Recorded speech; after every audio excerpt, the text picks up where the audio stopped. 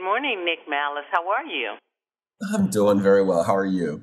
I'm fine. I want my audience to know today I'm speaking with Nick Mallos. He's the vice president of, of con, excuse me, Conservative Ocean Plastics. Nick, thank you for talking with us about plastics. You know, plastics are in the news. We're uh, talking about, you know, uh, single-use uh, plastic, and you see it from a different perspective. Maybe could you tell us what you know as the vice president of the Conservation Ocean Plastics? I sure can. And you're right. Plastics are in the media every day, but they're also unfortunately in our ocean. And plastic pollution is one of the most prolific visible threats facing our ocean today, with an estimated 11 million tons of plastic entering the ocean every year. to put that in perspective, that's equal to more than a garbage truck's worth of plastics entering the ocean every minute. And so we know it's a problem. We know it has very real impacts on the animals and communities that depend on a healthy, thriving ocean. Since the first International Coastal Cleanup, more than 17 million volunteers have collected nearly 400 pieces, excuse me, 400 million pieces of trash, totaling more than 350 million pounds. Now that's just in the ocean where you work, so I'm going to think that it's bigger than that. That's exactly right. That that those incredible numbers through International Coastal Cleanup's uh, almost 40 year history represents just a single annual day's effort. And we know many of our partners around the world, many organizations around the world are leading cleanup efforts every day in their own communities. So we unfortunately know the reality of the situation is far worse than what the data show.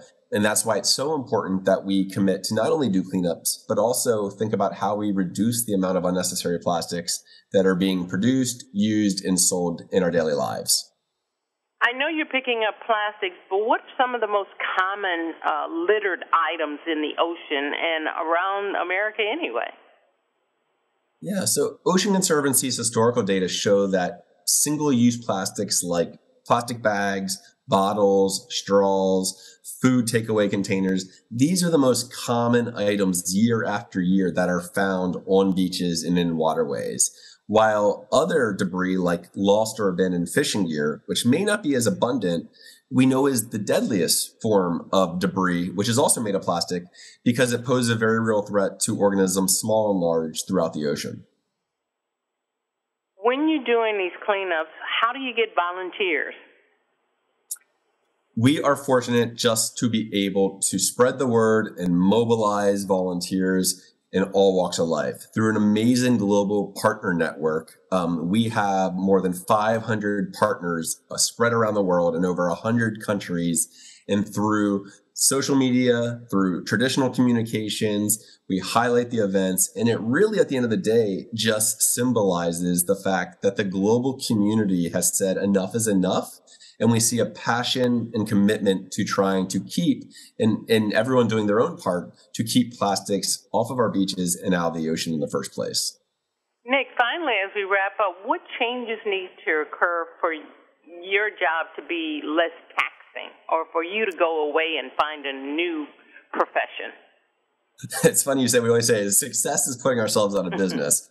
Um, but I, I, think first and foremost uh, join a cleanup. You can visit signuptocleanup.org to find a cleanup near you. If one is not available near you you can download our clean our app Clean Swell which allows you to do a cleanup anytime anywhere and make a real impact in your community more broadly, we can all just rethink our daily lives and think about what small changes can we make? Maybe just skip the plastic bag, maybe skip the straw. And incrementally, as a global society, these small changes really add up just to reduce the amount of plastics that are available to enter our ocean in the first place. Okay. Now I'm going to take this one from Instagram, and it's a little bit different, but they say once there was a movement in a lot of states about no paper or plastic, and that movement's gone away. How do they start their county in being interested in paper or plastic? Sure. Well, first off, you can visit Ocean Conservancy's website at oceanconservancy.org. We have a range of materials that share how you can mobilize local communities and advocate for policies. Um, that's a great a great starting point. And more broadly, um, we can go out, mobilize people, join a cleanup, and from there we see a transformation in people's behaviors and attitudes towards demanding change in the local community. So it's both mobilizing people and also building on the many successes that are out there. And again, you can find them at our website, oceanconservancy.org, and mobilize a cleanup at signuptocleanup.org. Nick Mallos, thank you for the work you do. This is truly God's work. I really appreciate what you do, and thanks for being on the Valder Beebe Show. Thank you so much for giving us time today. I appreciate it. Take care. I'm Valder Beebe. I broadcast on radio, streaming TV, podcast, and in print publications. I interview the world's most fascinating authors, all because I love a good book. This summer, I partnered with WPS for Beebe's Summer Book Giveaway. We're giving away New York Times bestsellers and award winning books, books that inspire me, and I'm sure they'll inspire you. To be eligible to win a copy of Jesus Can Give You a New Life, answer this question What is God's greatest gift to mankind? You'll find the answer in John 3:16 of the Bible. Send your response to the email at the bottom of the screen.